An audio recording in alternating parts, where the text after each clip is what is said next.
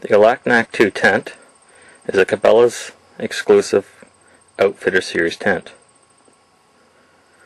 There's the tent itself, which comes in its own custom duffel bag, weight with poles and spikes, probably about 70 pounds.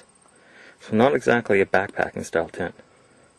Once taken out of its duffel bag, you have the main tent fabric itself, and separate bags for the pole,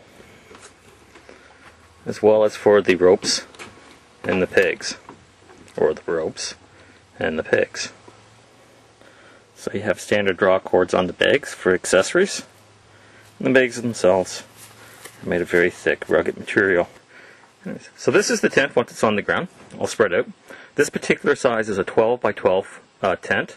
It's also available in 10 by 10 and 12 by 20. I believe those are the other two sizes. The other thing of interest on this right now is the way that these hooks work.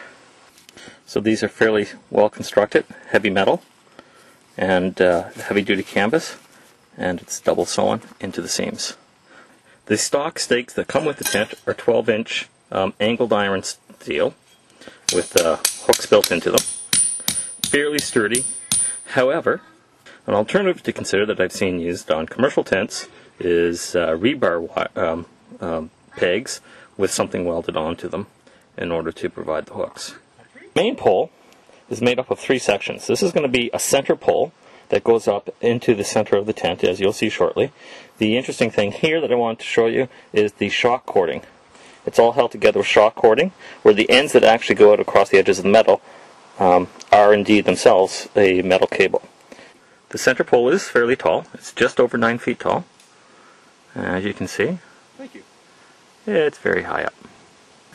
You go in through the front door, and there's a pocket that it's going to, the center pole is going to go into. And then there's a pocket on the bottom as well. And you end up with something that looks like this. This is the center pole, looking at it from the inside. There's the pocket it goes into at the top. And here's the pocket that it goes into on the bottom. With the center pole in, the next thing we do is put in the corner posts. And the corner poles are in place. It's a single post that attaches the bottom and at the top. And then comes out at a 45 degree angle to a peg. What we have on ours, left over from the last time we used it, is orange tape to help avoid tripping on these wires, which are black and very difficult to see at night. Corners that the pegs go into are a heavy-duty steel grommet with reinforced heavy-duty canvas double sewn into the corner of the Cabela's tent. The guy rope is attached to the uh, top side of the grommet in order that as it's going down to the ground, um, it will put pressure on the uh, on the top of the grommet and hold it on the pole. Steel pins on the rings insert into the bottom of the pole.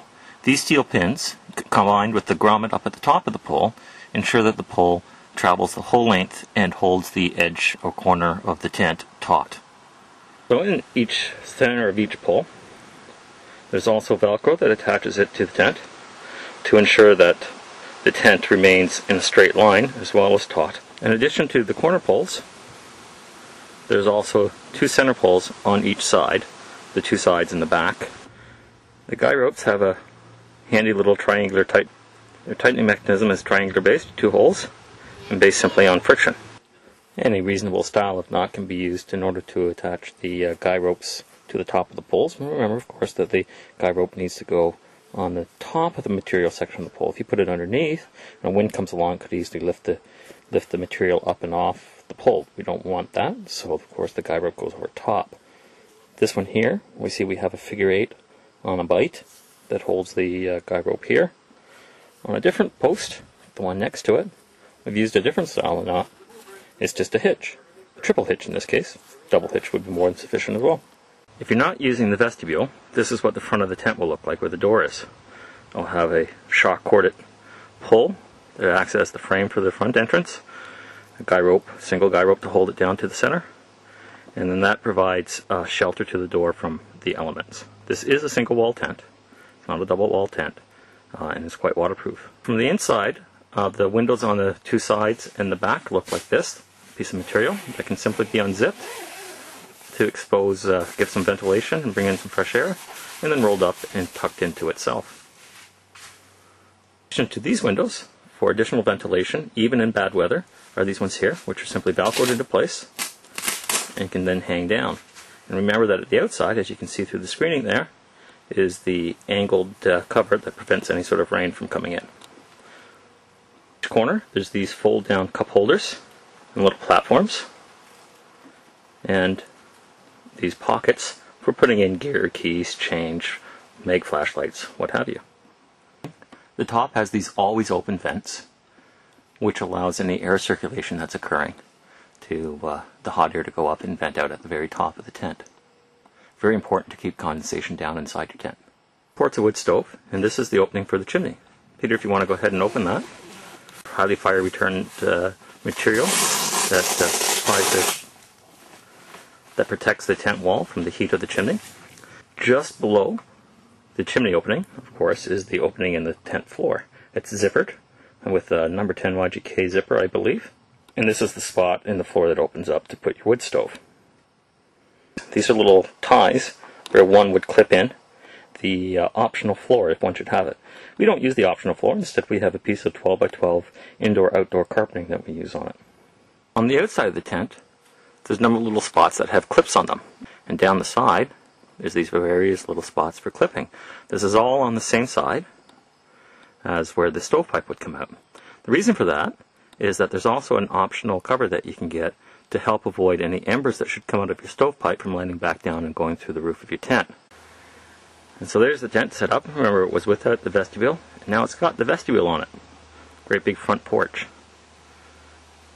It attaches to the pole that held up the uh, arch for the normal tent door. And then it has its own shock corded pole that goes up through the center to support it there with guide wires coming out to the front. We haven't bothered hooking up the side guide wires, but as you can see there's a rope hanging there, which would be for the side guide wires as well. A large screen window on either side of it. Okay, so here's how the clips on the post work, where we do have these clips on the posts. They just snap on and off very easily. Fairly large, heavy duty, strong canvas connectors with double sewing um, to hold it onto the uh, seam. They just snap easily into place. View from the front.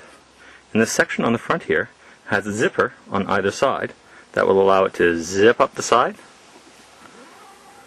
as Peter's doing right now.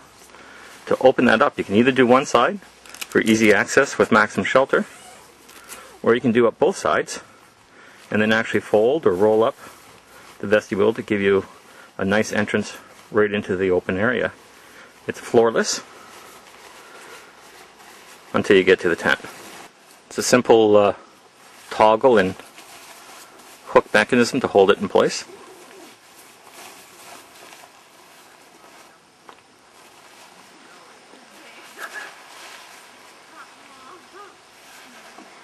Well, simple for most of us anyway. You can have the front door down. The last little clip it was open. But you can just have one of the sort of the triangular corners open in the vestibule looking into the tent, sitting in one of the corners of the tent, looking around. It is over 9 feet tall in the center here. The walls are 4 feet high. So what we do is we have our wood stove in here and we have cots um, that run along the uh, corners and the edges. Um, we've had, had, three people in the tent sleeping comfortably, but uh, it's even more comfortable with just two. Looking out to the vestibule.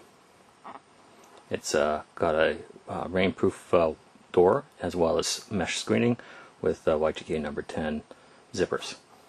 And inside the tent looking at the vestibule through the small triangular opening. Hey Pete, yep. want to come through that opening so they get an idea of uh, scale and dimension? Yeah, there's six foot four bodies walking through the room. Excellent.